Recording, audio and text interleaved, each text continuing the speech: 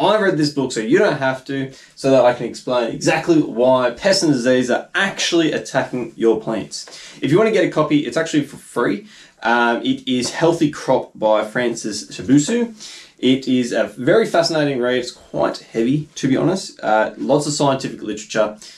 If you don't know who I am, I'm Teal Simmons. I run this channel as well as Ag- Agresol, which is a regenerative ag consulting business. I help farmers in New South Wales, Australia, regenerate their farms. So if that sounds like you and the stuff that we talk about today sounds like it would help you on your farm, then um, sign up for a free consulting call, 30 minutes. Um, anyways, it's for free. Let's get into it. So, why are disease and pests actually attacking your plants?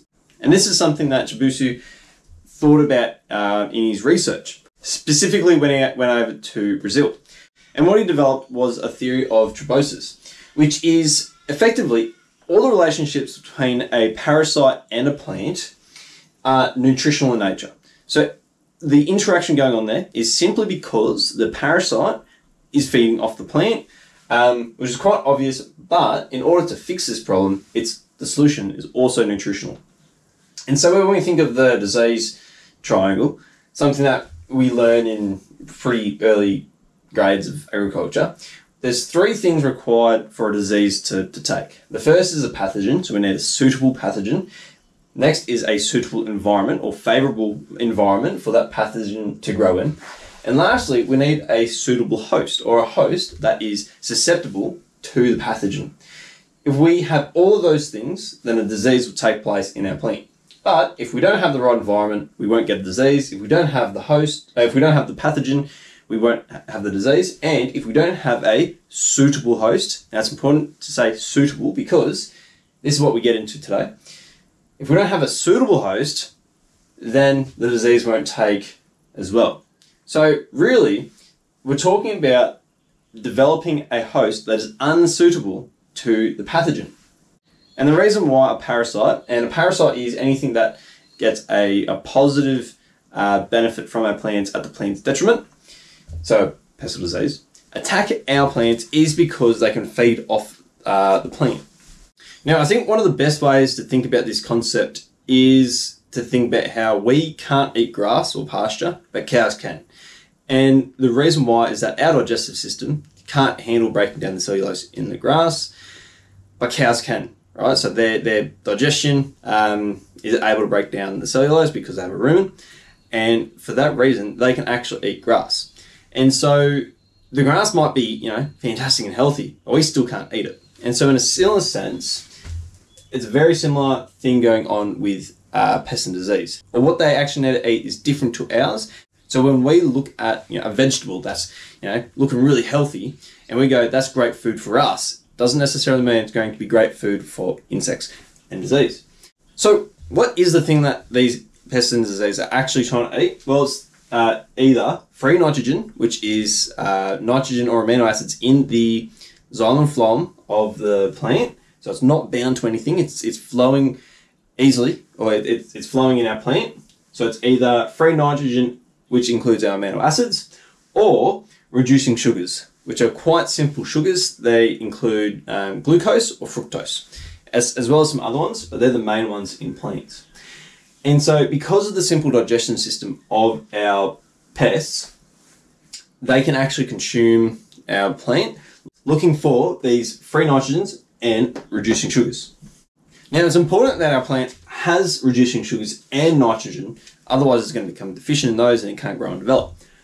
But what Francis explores in, in his literature is that if we if we maximize the conversion process of these free nitrogens and, and reducing sugars into their final product, which is protein for nitrogen. So nitrogen needs to be converted, or say if you have nitrate, that needs first be converted into amino acids and then into proteins. If we have a really good protein synthesis process in our plant, there's a good chance that that plant will become an unsuitable host for our disease and pests.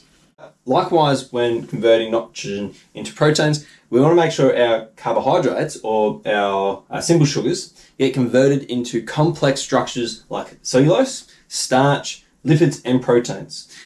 So when this is occurring, uh, when this is happening really efficiently, there should be very little nitrogen reducing sugars in our plant sap, making the plant really unfavorable for our insects to eat because they simply won't get any nutrition from it. To make sure that our nitrogen is converted into proteins, we're going to make sure our protein synthesis is um, working efficiently. And for that is a nutritional solution. So we can apply these different nutrients to ensure that that process is happening efficiently. So for protein th- synthesis, we're going to need magnesium. Magnesium is used in the ribosome, which is the it's a it's an enzyme within the cell um, within the cell that is in charge of taking amino acids and then putting them onto basically uh, the DNA or the mRNA, which is basically the template. So that's in charge of actually building our amino chains that then get turned into proteins. Now, S or sulfur is used in a few of our uh, amino acids. So without sulfur, we're not going to have all the amino acids that we need to build complete proteins. And incomplete proteins are still susceptible to um, pest and disease attack.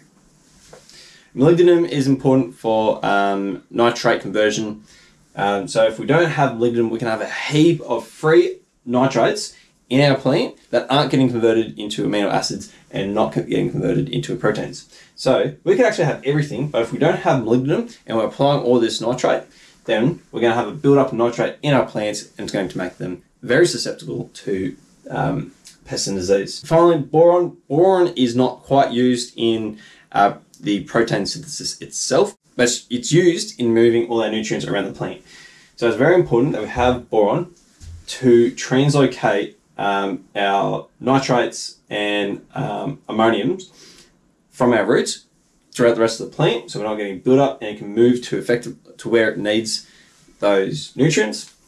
And boron is actually also important in um, converting our reducing sugars to, to the rest of the plant. So Boron is basically like think of a truck. It's going to be transporting everything. We don't want it to build up in one particular spot.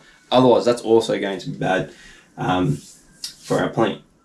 Now, with this, we also really want to make sure that our photosynthesis process is happening efficiently so that we have a big engine behind our plant that's going to be supplying the plant with a lot of food and energy and then it can be pumped into cellulose starch, lipids, and proteins. If we don't have enough carbon in our plants that the, that the plant's fixing from photosynthesis or the energy, it's not going to be able to produce the proteins. Which means if we're if we have a buildup of nitrogen and we don't have enough carbon, it's not going to be able to make proteins. So we're going to make sure our photosynthesis is happening rapidly and it's an efficient process. So what do we need for that? We need magnesium. Magnesium is very important in the chlorophyll. It's basically at the center of the molecule and it captures that light comes in. Uh, nitrogen is also used in a very similar sense, it's surrounding the magnesium. That's also very important for uh, protein th- synthesis. Manganese is used in uh, water hydrolysis, so it actually splits water in um, photosynthesis. That's very important. Also, very important for our water use efficiency in our plants. Iron is used in the assembly of uh, chlorophyll. There's also some other compounds in our plant that assist capturing the light.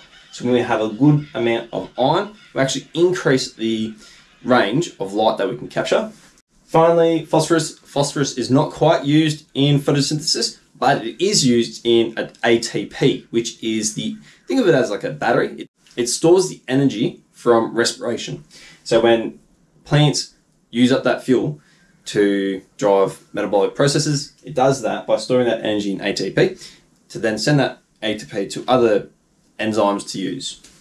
So this is important. Otherwise, we're going to have a build-up of energy, or we can't we can't quite process the energy that our plant's making. So that's very important to have phosphorus, so that we can have the energy transported to different functions within our plants to then uh, process or produce these compounds. So it's quite technical, and what we do with the consulting is that we look at these levels in our plants and go, okay, well you know, you're getting attacked by all these different pests and disease. What's missing in our plants that prevents our plants from converting all these nitrogens and carbon into complete proteins? Um, we take a sap test and go, oh, okay, you're actually magnesium deficient. Magnesium important for these. Let's apply a follow thing of magnesium and effectively solve our pest and disease problems with nutrition. So that's one level that we explore in the book, the nutritional um, solution. There's also another thing that inhibits this process. So we can build it up or we can in- inhibit it. So one of the best ways to prevent both photosynthesis and protein synthesis is the application of herbicides and pesticides. And so what happens is when we apply these effectively plant toxins, it prevents the plant from carrying out this function, and we're going to get a build-up of nitrogen and uh, reducing sugars in our plant sap, which makes them susceptible to pest and disease. The exact same thing that we are trying to prevent. Now, the thing that pesticides specifically solve, and, it, and don't get me wrong, they are important, is getting rid of the pathogen. So when we look at this disease triangle, we have pesticides getting rid of our pathogen. We have what we discuss here, nutrition, which gets rid of susceptible host because it's not susceptible anymore. Uh, and then we can also have um, cultural management changes that actually gets rid of the environment. Now, relating all these things together is what we call an integrated pest management program that we also consult on. Um, and it looks at this whole system holistically. So we want to be looking at the whole triangle together, talking about you know how can we change the environment, how can we boost our plant health, how can we get rid of the pathogen. So the whole thing's holistically, and we're not just relying on one thing. But this is a big component of making sure our plants don't even get sick in the first place. Now, sometimes you do need to use a pesticide. And so the best solution to that is making sure that when we do apply pesticide, our plants can recover from this process really, really rapidly. So the best way to do that is by applying carbon source with our herbicide and pesticides. So applying something like a fulvic acid or a humic substance can provide our plant enough additional to effectively deal with those compounds. Now there are situations where you can actually solve the problem very rapidly by applying our nutrition, especially with the foliar spray. So instead of applying a uh, fungicide to get rid of the plant, we can apply some of these to then get rid of the uh, fungus anyways. Good, well I hope you found that interesting. I'm very passionate about this topic. I find it really interesting. If you have had an experience like this on your farm where you've applied nutrition uh, and you've seen a um, reduction in pest and disease in your farm or like even within a 24 hour period. I want to know, so put it down in the comments. Uh, that'd be really interesting. Otherwise, again, if you're a New South Wales farmer interested in applying this to your farm, um, go to our website and you can sign up for a free 30 minute uh, consulting call with me. Otherwise, make sure to subscribe and share this with your friend because I think this is really powerful so that we can reduce our pesticide use. Awesome. Thanks for watching.